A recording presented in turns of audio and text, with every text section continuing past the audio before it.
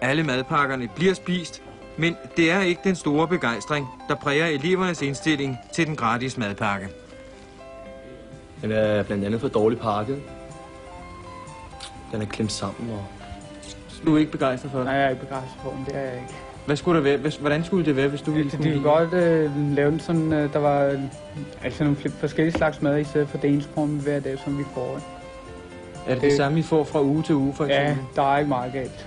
Jeg synes, at det, der er på maden, det er sådan nogle mærkelige sammensætninger. Det er noget, du ikke rigtig kender. Ja, noget af det kender, men det er ikke sådan noget, jeg sådan har vant til at have derhjemme.